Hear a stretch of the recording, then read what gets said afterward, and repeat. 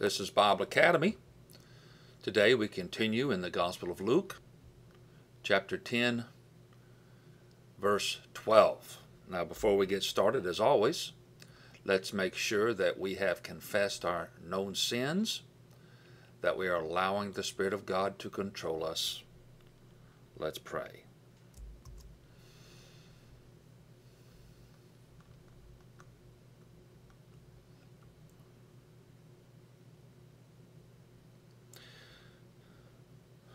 Well, Heavenly Father, we thank you again for this opportunity and the privilege and everything you provided so that we can study your word.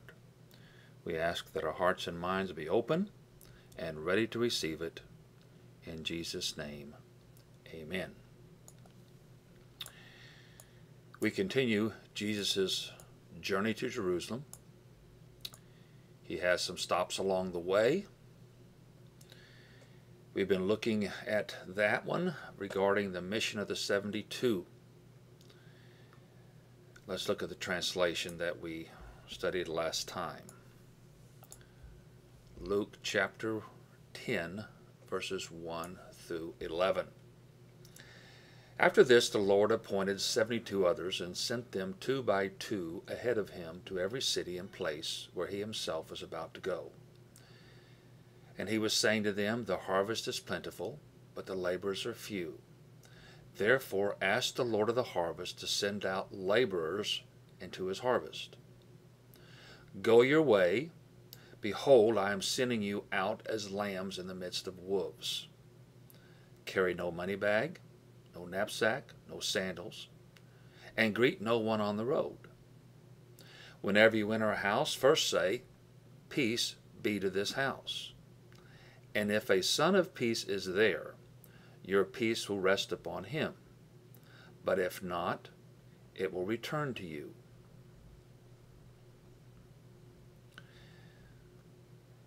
And remain in the same house, eating and drinking from them, for the laborer deserves his wages. Do not go from house to house. Whenever you enter a town and they receive you, eat what is set before you heal the sick in it, and say to them, The kingdom of God has come upon you. But whenever you enter a town and they do not receive you, go into its streets and say, Even the dust of your town that clings to our feet we wipe off against you. Nevertheless, know this, that the kingdom of God has come. Now we've learned that the Kingdom of God Phase 1 was inaugurated by Jesus and his ministry. Now the disciples are to continue that mission of going out on their own. You might say they're going to go solo, except they go in pairs. And they will experience rejection, both to Jesus' message as well as themselves. But they'll also have some acceptance. And when they find a town that totally rejects them, they leave the town, uh, demonstrate this curse. But there is more coming upon these towns than just that curse at the time. Now, in verses 12 through 15, we will see mention of four familiar cities and one called Chorazin. That's unfamiliar, but it's in Galilee.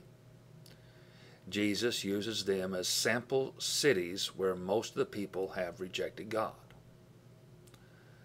Uh, we've heard of Tyre and Sidon. They're well known in the Old Testament, but they're also known for their rejection and judgment. Of course, we've heard of Sodom. It's notorious for its wickedness, and we know about its destruction.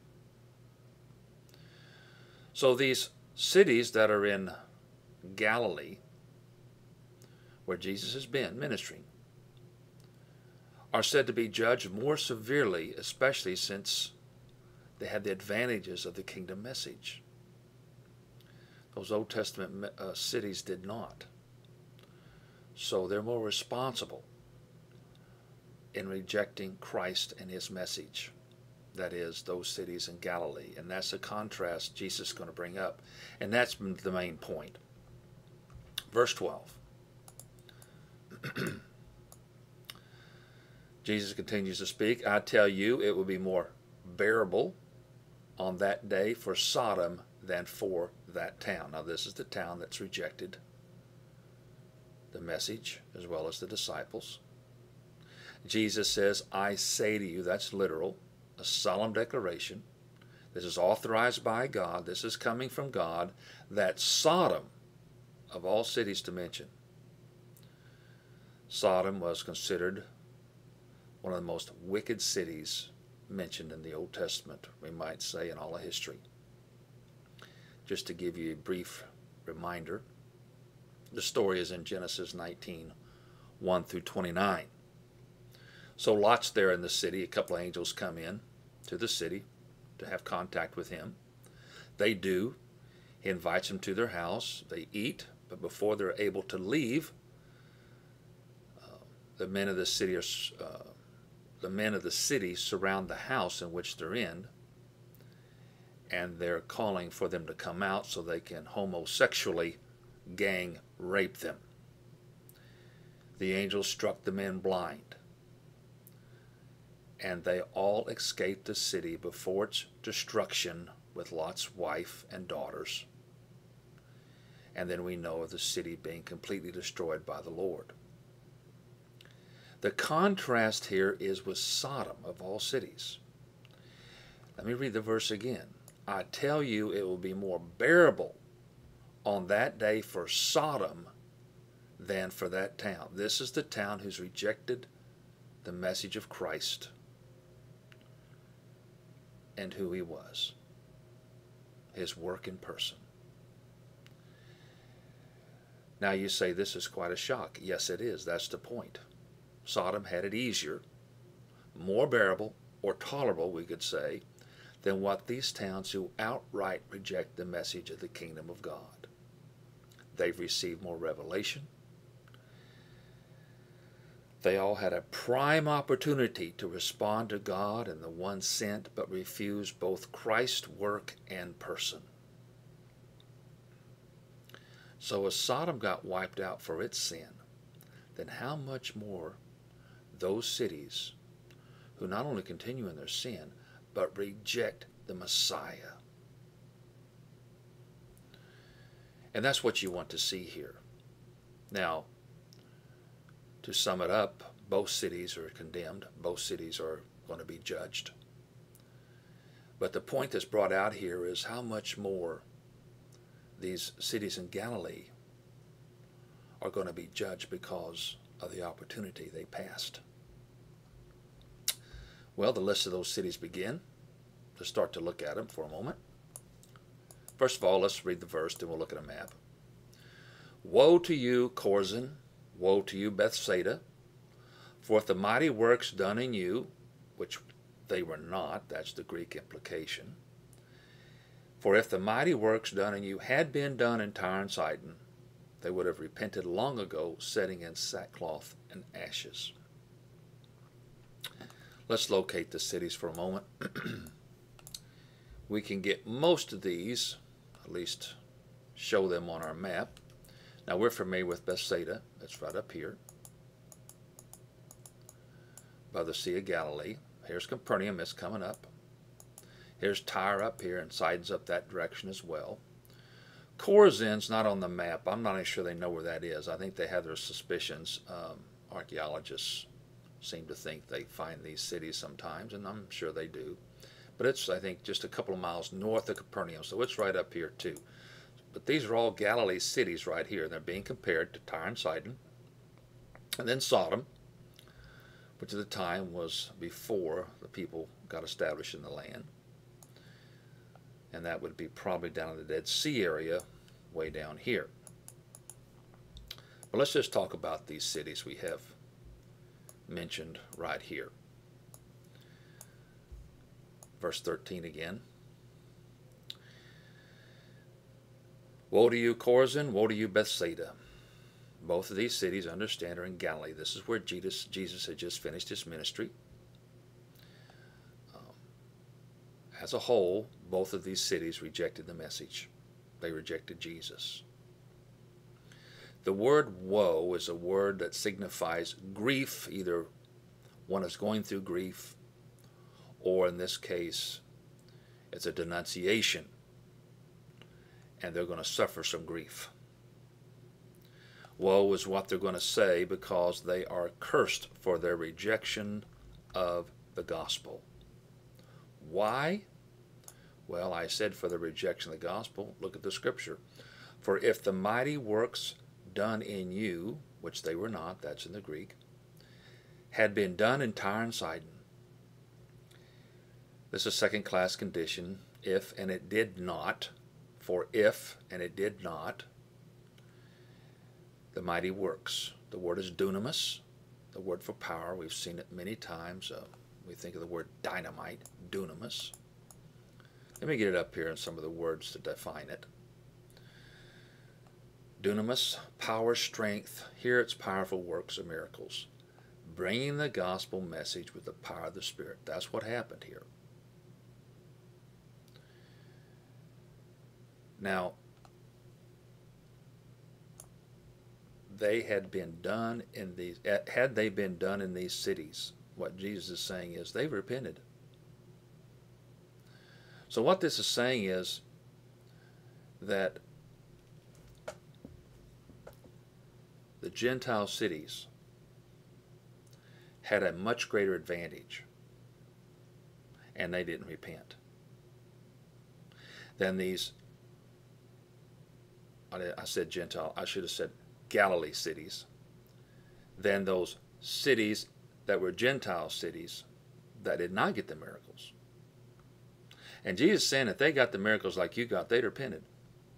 But we got to understand also that their hearts weren't ready either.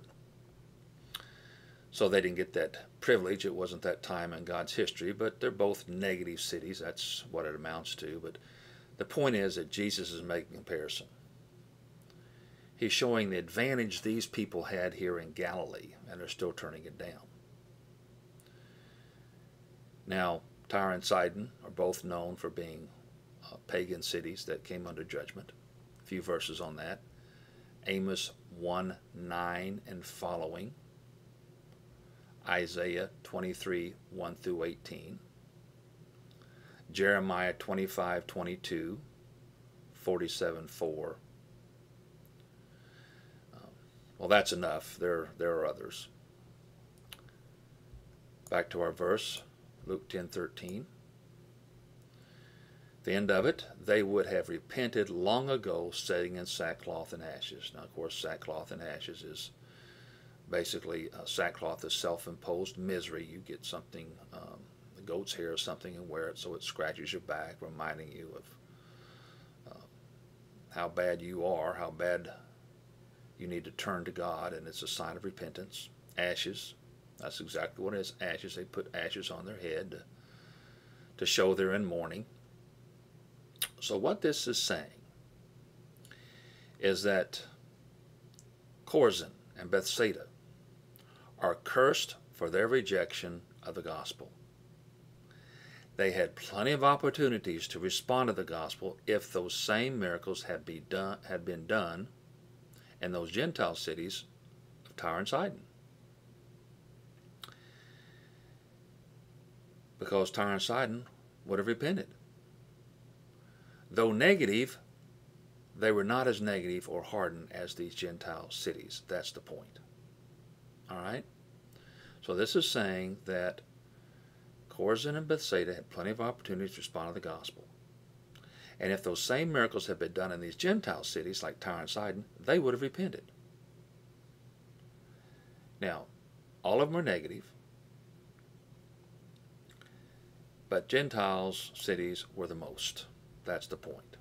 Now, this is for argument's sake and in comparison to show how hard these cities were. And don't miss the point. The point is that these current Jewish cities should be ashamed. Their hardness to truth is epic. So, this verse shows how hardened these two cities in Galilee were, and more so than a couple of Old Testament Gentile cities who were known for their judgment. Verse 14, regarding their judgment. But it will be more bearable in the judgment for Tyre and Sidon than for you. Now, this must have woken them up. It would have woken them up had they heard this. But Jesus is teaching principle here to his disciples.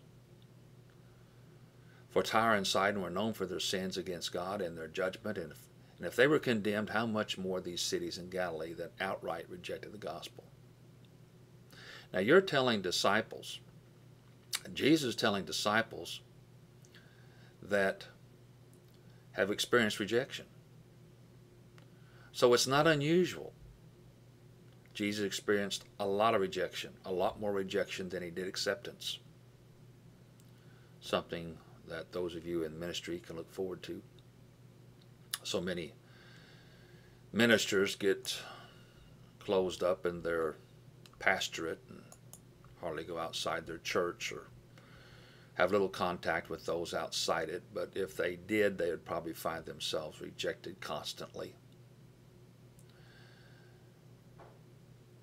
Again, another way of saying these old unrepentant Gentile sinners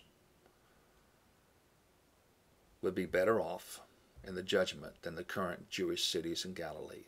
The same is true as Capernaum, verse 15. And you, Capernaum, will you be exalted to heaven? No. You shall be brought down to Hades. Remember that Jesus had been to Capernaum, where they witnessed him and his power, Luke 4:23. Here he raises the question, will you be exalted to heaven? The Greek structure again expects a no answer. Did the people of Capernaum really expect to be raised to heaven just because Jesus had been there or done miracles or some other reason? But they're going to go the opposite way. You shall be brought down to Hades. Hades is the Greek word for the Hebrew Sheol, the place of the dead, the grave, and beyond. More specifically, here it is where those who reject the gospel will go. So, all these Jewish cities who have heard the gospel, seen the miracles, even through Jesus himself, should have no expectations except Hades. Final word of instruction. The one who hears you hears me, and the one who rejects you rejects me, and the one who rejects me rejects him who sent me. Now remember, Jesus is instructing these 72. This tells them how much Jesus is with them in their message. Hearing here is used in the sense of hearing and obeying. Rejection is rejection, including rejecting the disciples. As this verse sums up, when they reject the disciples, they reject Jesus, they reject Jesus, they reject the one who sent him. They reject the Father.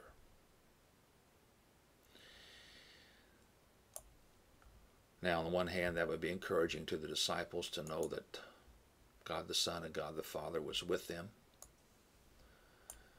But the reality of the fact is, many times all will be rejected.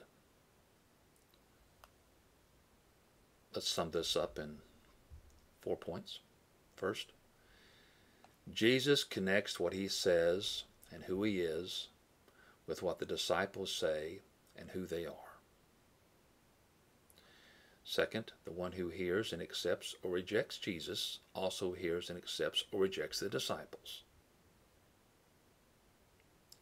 Third, those who reject Jesus also reject the one who sent him, God the Father. So it's a matter of choice. So again, Jesus puts the disciples and himself together in ministry. They are acting on his behalf as well as the Father's. They are treated the way they would treat Jesus and demonstrate what they think of God. I think one of the things worth reflecting on for a moment is how much rejection Jesus had to face. Um, the perfect man, the God man, without sin. He never did the wrong thing. He always said the right thing. And yet he was constantly rejected. By the masses. Well, the good thing is, again, that Jesus is in this with the disciples. And that's something for us to keep in mind as well. He's with us in our ministry, in our service. As we stay in line with Him and the Father and their plan and what we're to do, we do that through learning the Word and being obedient. So God is with us in this. Jesus is with us. A good thing to remember when you do your ministry. So, this verse is another conclusion from those who reject the gospel of the kingdom. That's the emphasis here. So the 72 go out. They do their mission. They cover some ground. Perhaps Jesus is already going to some of those towns as they have already preceded him. And they eventually come back and report to him.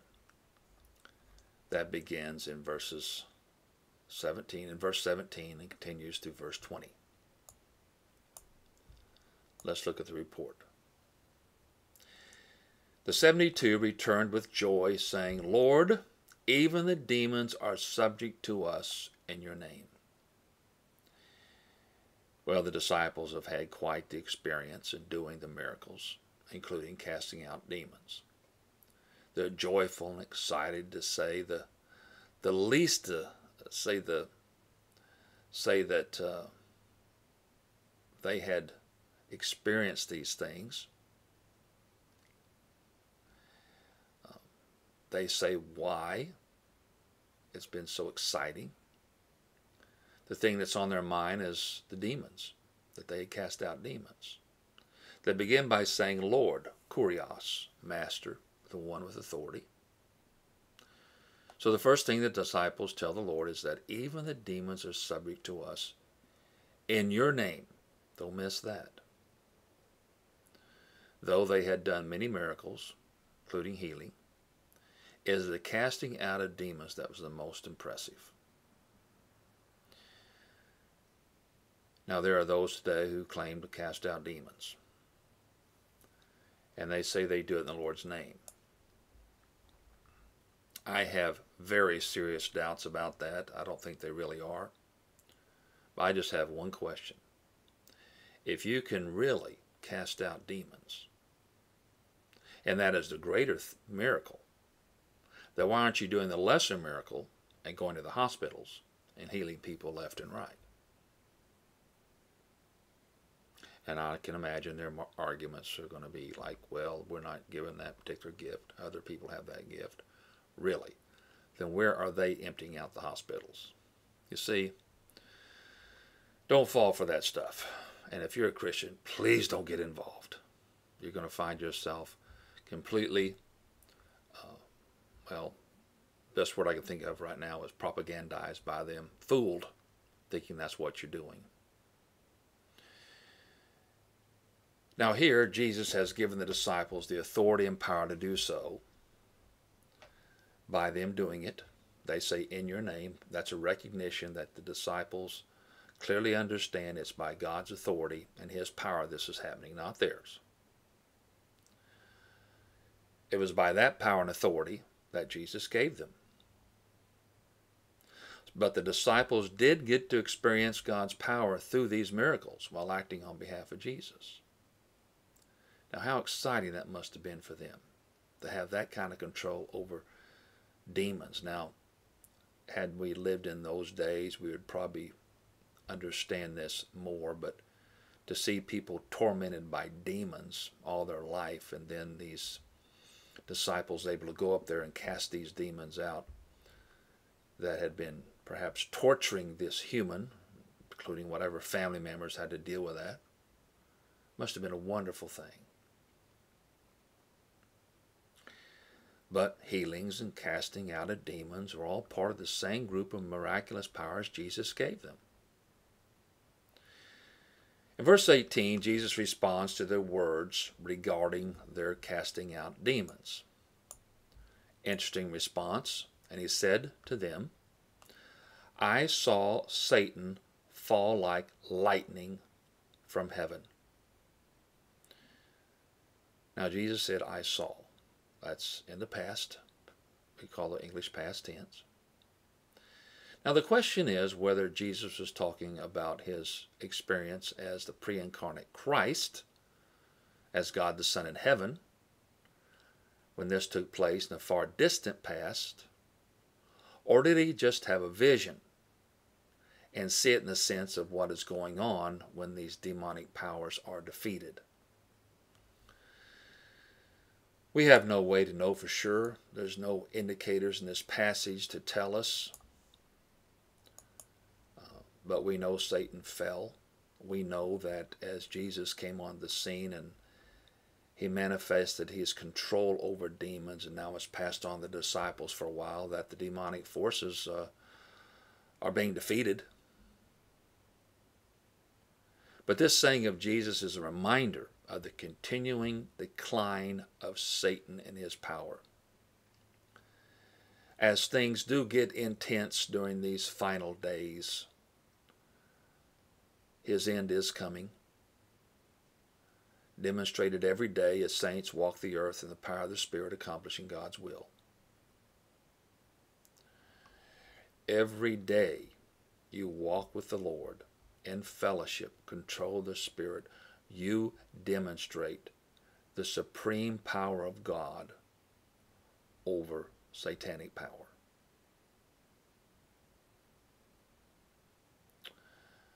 It's not to say that you won't get attacked now and then by Satan or his demons, but I suppose it's a rare thing. And if it does, certainly God is there to protect you, defend you, and get them out of the area. That's usually the routine. Now, we just saw this mention of Satan's fall. How about a short reminder? This is in detail in the Falls of Satan. But let me just read through a brief review of the Falls of Satan, his history, as well as his future. In the past, the first fall of Satan was when he rebelled against God and was demoted from being the highest ranking angel to becoming the highest ranking demon. That centers around Isaiah 14:12. When he was demoted, Satan's power and authority was significantly significantly diminished. He had been kicked out of the Lord's host, his army, and then he took charge of his own army of traitors against the Most High. With this demotion, Satan moves his operation to earth to control the world through his cosmos diabolicus. But now Jesus has come onto the scene some 2,000 years ago with his kingdom power. Kingdom power has arrived, and Satan's starting to experience further falling as his power is gradually overwhelmed. So now in the present, this period, which began with Jesus' first coming, his power continues to diminish, so much so that even secondary agents like disciples in Jesus' name can command the demons when authorized by Jesus. And I might remind you folks, we're in this same era. We call it Phase 2, Kingdom of God. Now, Satan's future, his final demise, will come in two stages. First, he's confined to prison during the millennial kingdom of God on earth, phase two. And then he's released for a short time, and then for all eternity he will be condemned to the lake of fire. That's the beginning of phase three. Kingdom of God goes into eternity as Satan goes into eternal lake of fire. John 12:31 compared with Revelation 20:10. Here Jesus compares his fall to lightning. Notice coming down from heaven to the earth. Lightning is seen as coming down from the heavens. It's quick, it's dramatic. This is most obvious observation.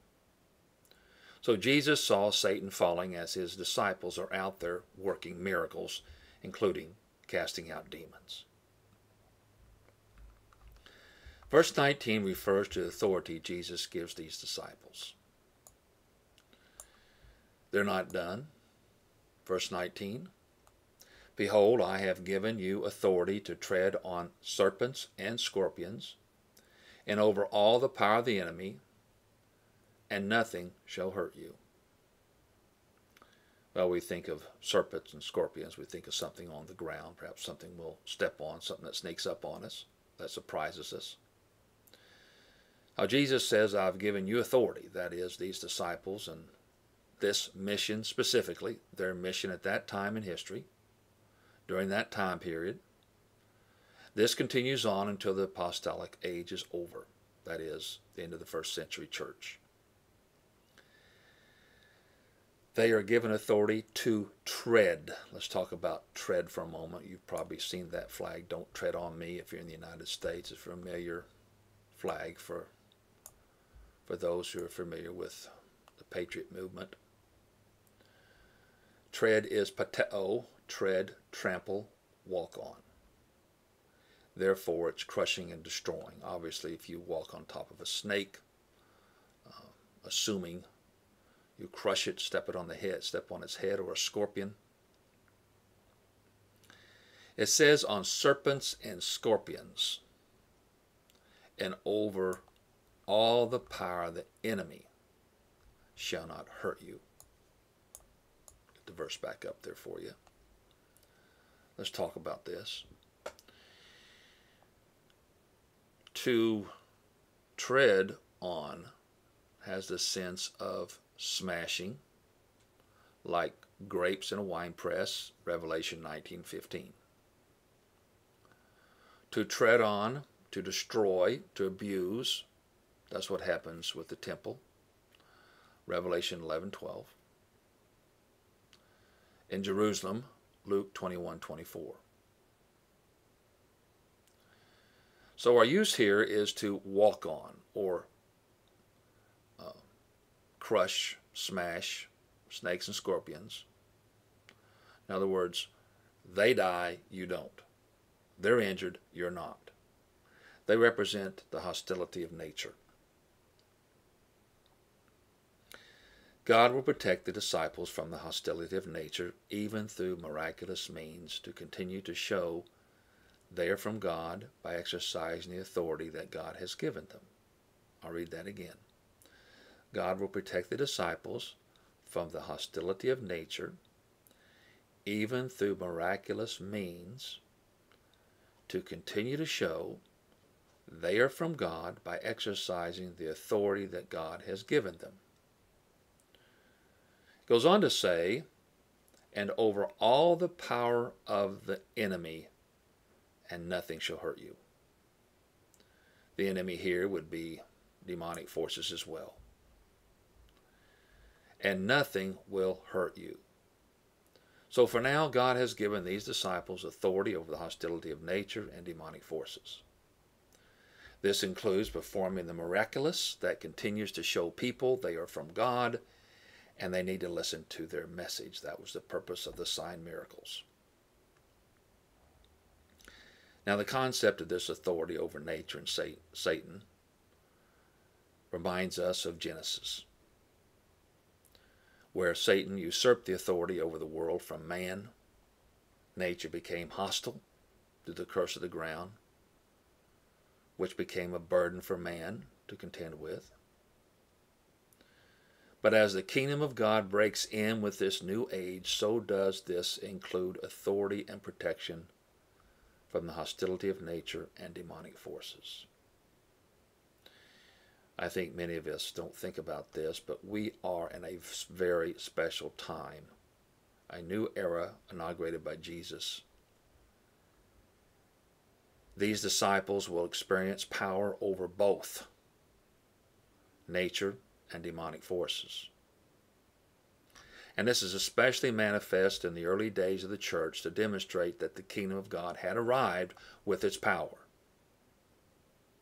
So we read of things like the exorcism of demons. And, uh, there's a story, of course, in towards the end of Acts where Paul is latched onto by a deadly viper and he grabs it and tosses it off. He's actually bit by it. Acts 28, 3 through 6. So we see that in these early missionaries during this first century, the disciples were protected in miraculous ways. You might ask, but what about today? Do we have any business handling snakes as some Christians have claimed to be able to do? Well, God still protects disciples today, you and me, but not through uh, the use of miraculous powers by the believers. We use prayer and depend on the sovereignty of God. We understand the unseen protection goes on all the time. I think the biggest danger to my family members is constantly having to drive on the freeway. Almost every day we hear ambulances drive down to help someone that's been in a car accident on the freeway. We don't live too far from the freeway. But doing these miracles is not the biggest thing that has happened to the disciples. After all that said about that, how wonderful and great it was, listen to verse 20, Luke 10 20. Nevertheless, do not rejoice in this, that the spirits are subject, subject to you. But rejoice that your names are written in heaven. First line, nevertheless, do not rejoice in this, that the spirits are subject to you. Now, this is a great thing, what they've been able to do. It's the one they're so thrilled about, and they see the power of God over the power of Satan and his demonic forces. But it's not the greatest thing to rejoice in. This isn't saying they shouldn't rejoice at all. But in comparing that with their names being written in heaven, that's much greater. The most important thing is that this command here to rejoice. Present imperative, continue to rejoice that your names are written. Perfect, passive, indicative. Already written. They're already there. They're on the roster. They're on the heavenly census, you might say, in heaven. Now, this, of course, is the book of life. If you studied under me very long, you know about the book of life, where all believers' names are written and remain written. Book of life is Daniel 12.1, Philippians 4.3, Revelation 3.5, 13.8, 17.8, many times in Revelation. So these names are on the divine roster, and no creature on heaven or earth can remove them. No satanic force, no demon can remove them. Now, some of you may be immediately thinking in your mind, but don't you teach that people can lose their faith and then their salvation? Yes, I do. We're not talking about a person's own choice in losing his faith here. We're talking about out, outside forces. So we need to understand the difference. Nothing can separate you from the love of God. And if one decides to go against God and goes into apostasy and rebellion against God and no longer believes, he therefore forfeits not only being a believer, but his salvation. A lot of scriptures teach that. We've come across many in our studies over the years. Verse 21 speaks in part of the privileges these disciples have. Verse 21. It's a long verse. In that same hour he rejoiced in the Holy Spirit. This is Jesus. He rejoiced in the Holy Spirit and said, I thank you, Father, Lord of heaven and earth, that you have hidden these things from the wise and understanding and revealed them to little children. Yes, Father, for such was your gracious will. In the same hour, he, that's Jesus, rejoiced in the Holy Spirit and the power of the Spirit. And he said, I thank you, Father, Lord of heaven and earth. Notice he uses the word Lord himself, the word for master, sovereign over heaven and earth, possessor or owner of heaven and earth, so Jesus here is thanking the Father, the sovereign Lord, for something he has done. That you have hidden these things from the wise and understanding. Now, The wise and understanding are those of the world. Those of the world who think they know the ways of the world when in fact they do not know it all. They don't know them at all. God will destroy this wisdom in the future, 1 Corinthians 1.19. The world's philosophers, the human viewpoint, the human-centeredness on so much of this thinking is not only off, it's way off. This kind of saying is what we're reading here about them not really having this knowledge, whether it's hidden to them. That's a real stick in their eye. Especially the Judaizers who thought their knowledge and wisdom would earn their way to heaven. Now they're being told that that wisdom really amounts to nothing. But who gets the information? Who gets the truth on this matter? I translated little children, but this word also includes babies. Nephios is the word nepios. It's the word for small child. I use little children. I say little children. I mean little children. I mean infants, innocent, maybe can't even walk yet. This is the most innocent, but yet ignorant, by that I mean uninformed, and also those in the most need of care. So the contrast here is between these Weisenheimers and infants.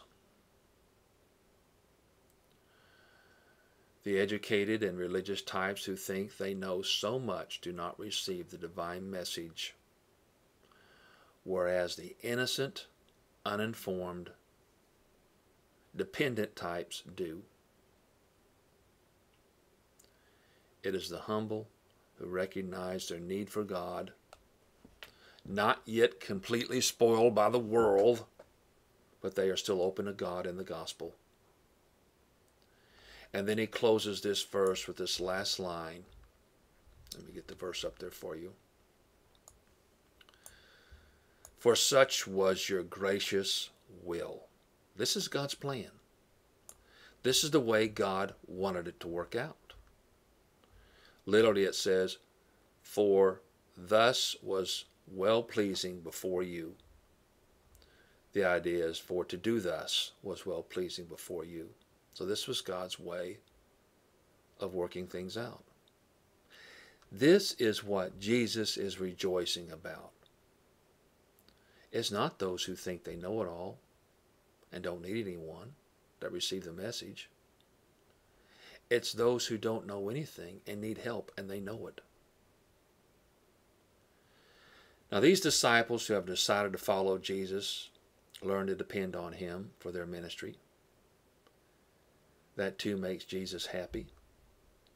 It's these disciples who have become the babies and have shown themselves to be mature in their ministry. So Jesus is praising the Father for this plan. It's a wonderful plan. All these disciples come back and report to Jesus what they've experienced and their obedience to Jesus, utilizing that power. They're full of joy and excited. So Jesus rejoiced in the Holy Spirit and said, I thank you, Father, Lord of heaven and earth, that you have hidden these things from the wise and understanding and revealed them to little children. Yes, Father, for such was your gracious will. So Jesus is sharing in the joy of the success of this ministry. One might say success, but there were whole towns that rejected him.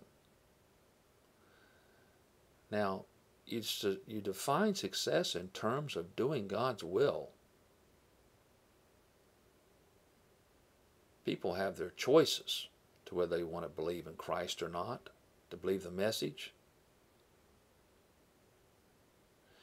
So here both Jesus and the disciples are emotionally filled with happiness over the way God is doing this. Remember this the next time you get down or depressed in ministry. Jesus is thrilled to give to you his authority. And he's done that in the fact that you've been told he'll be with you when you go out and you minister. You have his power to accomplish the plan of the Father. Demonstrated while Jesus was on earth with these 72 disciples. If they did it, you can do it. You have the same Holy Spirit. You have Jesus supervising from on high. So this was God's plan in those days. The strategy of the Son in his ministry, and now that of the disciples to follow in a similar way. Then these disciples make disciples, contributing to more laborers in the field for the harvest. And that continues to the generations up to you. We have many reasons to praise God. And remember, this is for you too. You too will have the opposition, the hardships, the stress of circumstances and people. You say, but we don't have those miraculous powers like they did. Well, first of all, let me answer that in two ways. Yes, you do. And no, you don't need those particular gifts. You don't have to have those gifts because you don't need them. First of all, it's not God's plan. And secondly, God wants you to depend on Him for all those things. He'll protect you from the hostility of nature as He sees fit, as well as people, and Satan and his forces. Being turned down more times than one can count. Now, disciples had experienced this too but they're thrilled to do God's work.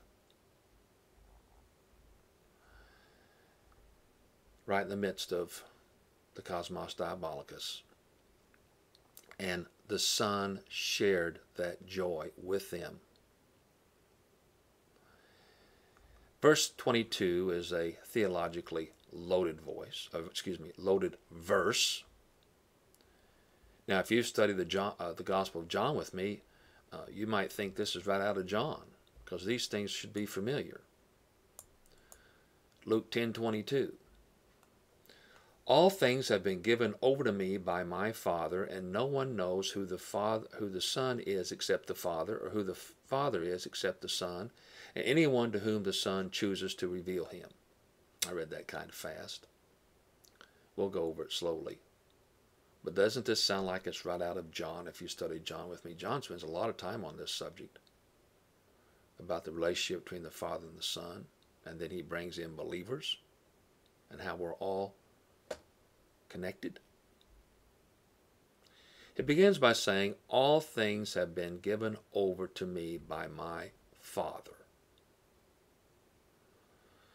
God the Father's plan included giving everything over to the Son as the plan unfolds, showing that the Father and the Son are in total agreement and alignment in carrying out the plan. Use a couple of verses in John about this time, John 10, 15, 17, 2.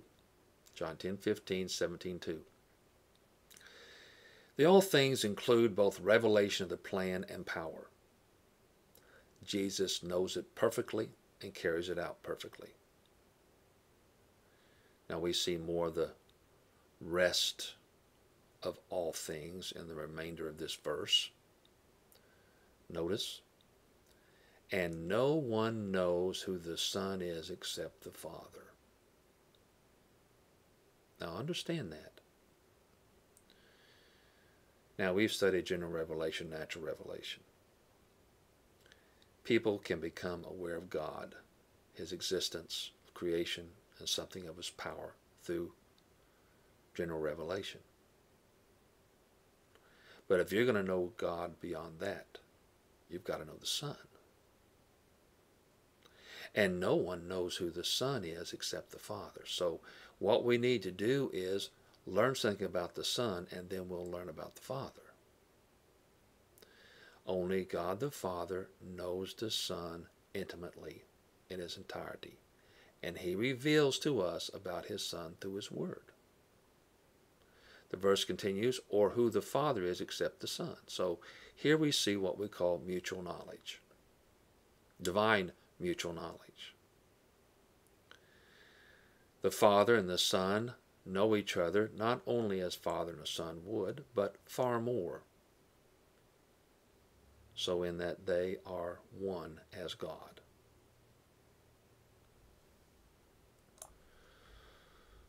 And anyone to whom the Son chooses to reveal him, that's back in our verse, the last line. And anyone to whom the Son chooses to reveal him. Don't miss that one, because that would include you. Here we see the sovereignty as the Son chooses to reveal the Father to certain people. Even in this, there is mutual knowledge and agreement between the Father and the Son.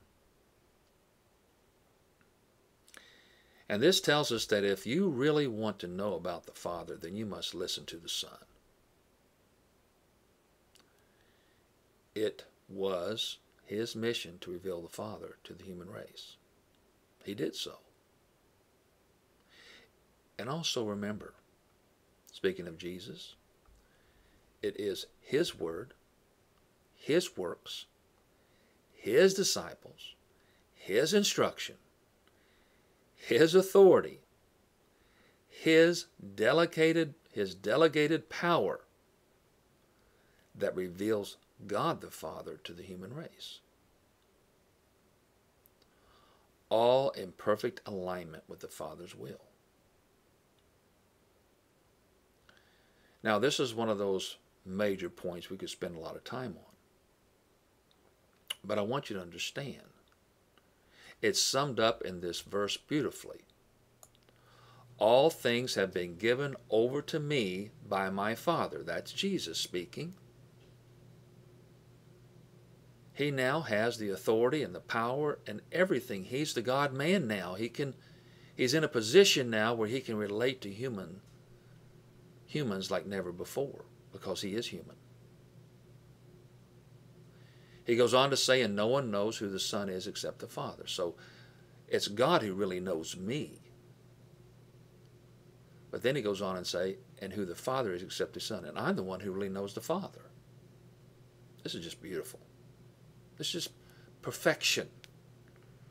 Uh, I just say, perfection in, in, in communication of God's theology of himself and the relationship between the Father and the Son. But then it opens up the end of this, and anyone to whom the Son chooses to reveal him. That's where we come in.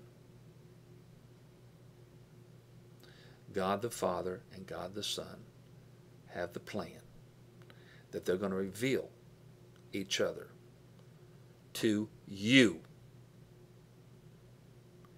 And that's a matter of your choice. You open up to God, and He will choose to reveal both the Father and the Son to you.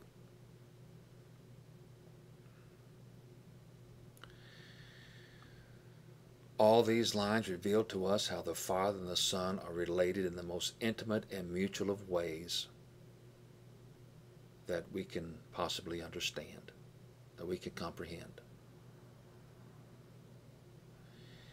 For us, we know God the Father. We know God because of Jesus Christ. He is the one who revealed the Father. Only in a limited way can we completely know Him.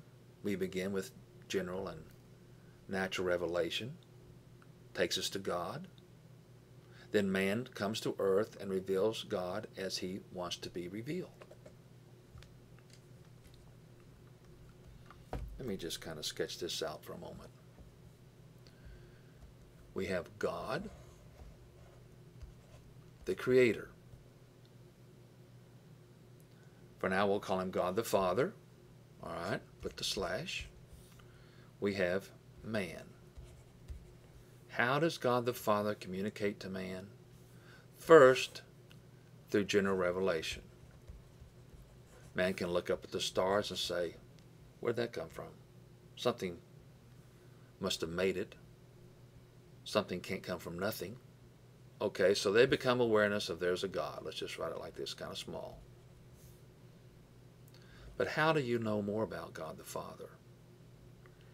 He sends someone who can talk to you, who can write words you can understand, who can speak words you can understand. I should say speak. Jesus didn't write anything, but his disciples did. So he comes as the God man, Jesus Christ.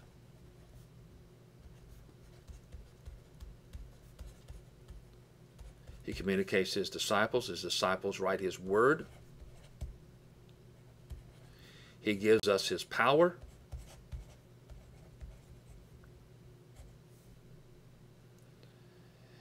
And now we learn more about God so that he becomes much bigger in our life. The same time, we learn about Jesus Christ. It's a perfect plan, something to rejoice about. Now, Jesus here is described as truly special in his connection to God the Father and how he reveals the Father to man. Those who are his children. Says something about your attitude. Who have turned from the world to God through Christ. You know, when I look now at the world and the powers and the politics and the dangers out there from whatever you want to call it, all the threats of nations and uh, natural disasters, as people call them. It's nice to be the child of the Creator, knowing that He's going to take care of you, He's going to watch over you, and that your best friend, you could say, or your brother is Christ. Put it that way you share with him as being a child of God. He's the son of the son of God. You're a son of God.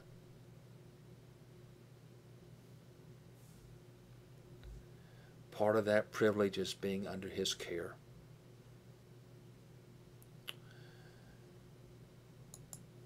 Verse 23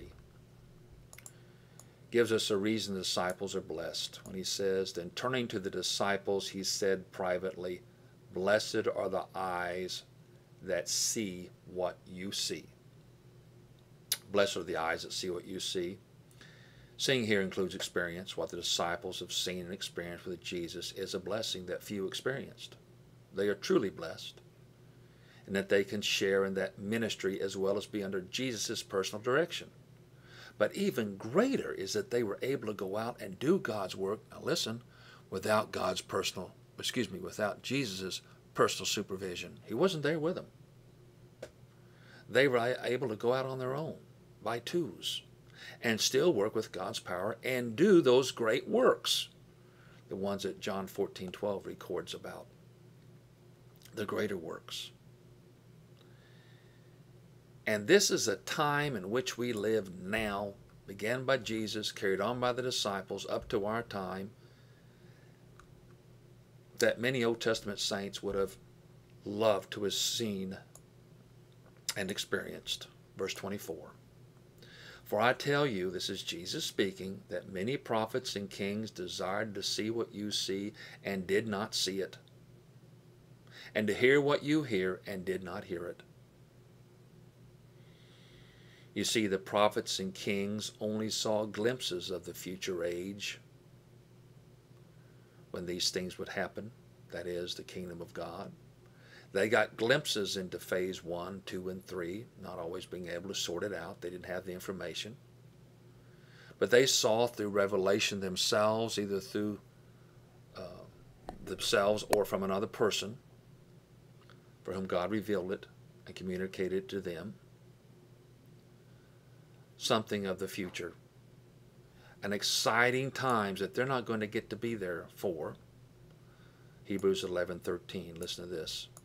All these people, talking about the Old Testament greats, in fact, were still living by faith when they died.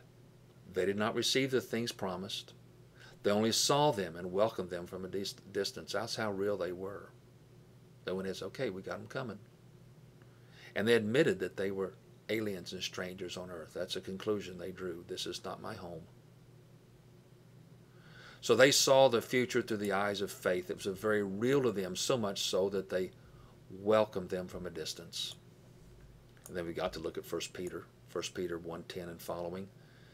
Concerning this salvation, the prophets who spoke of the grace that was to come to you searched intently and with the greatest care, trying to find out the time and circumstances to which the Spirit of Christ in them was pointing when he predicted the sufferings of Christ and the glories that would follow. Kind of like people who study prophecy today. It was revealed to them that they were not serving themselves but you. When they spoke of the things that have now been told you by those who have preached the gospel to you by the Holy Spirit sent from heaven. Even angels long to look into these things. These things are so great. They were so anticipated the things you're experiencing right now, the age in which you live, the power that you have, the ministry that you have, the privilege that you have. Now, what we must see here, and this is very important, is what I just mentioned the privilege. We live in an age of privilege. We are given the privilege of doing what these disciples did. to tell of Jesus, to reveal God, to do this in the power of God, following God's lead, living obedient but yet challenging lives, facing the opposition, the elements, nature, the hardships, yet doing all this for the high cause there is, the highest cause there is to call and prepare others to do what we do go in the field as harvesters.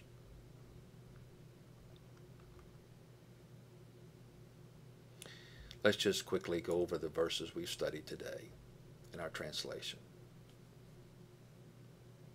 We begin at 12. I tell you, it will be more bearable on that day for Sodom than for that town. Woe to you, Chorazin. Woe to you, Bethsaida. For if the mighty works done in you, which they were not, had been done in Tyre and Sidon, they would have repented long ago, setting in sackcloth and ashes. But it will be more bearable in the judgment for Tyre and Sidon than for you. And you, Capernaum, will you not? Will you be exalted to heaven? No. You shall be brought down to Hades. The one who hears you hears me, and the one who rejects you rejects me and the one who rejects me rejects him who sent me. The 72 returned with joy, saying, Lord, even the demons are subject to us in your name. And he said to them, I saw Satan fall like lightning from heaven. Behold, I have given you authority to tread on serpents and scorpions and over all the power of the enemy, and nothing shall hurt you. Nevertheless, do not rejoice in this, that the spirits are subject to you, but rejoice that your names are written in heaven. In that same hour he rejoiced in the Holy Spirit and said, I thank you, Father, Lord of heaven and earth, that you've hidden these things from the wise and understanding and revealed them to little children. Yes, Father, for such was your gracious will. All, things. All things have been given over to me by my Father, and no one knows who the Father, who the Son is except the Father, or who the Father is except the Son, and anyone to whom the Son chooses to reveal him. Then turning to the disciples, he said privately, Blessed are the ones that see what you see. For I tell you that many prophets and kings desired to see what you see and did not see it, and to hear what you hear and did not hear it. Let's pray. Well, Father, again, we thank you for your word. This has been a lesson with so much to learn, so much depth. And we realize what privilege we have now to serve you. Father, give us the strength, the wisdom, the power we need to carry on the mission to give you the glory. In Jesus' name, amen.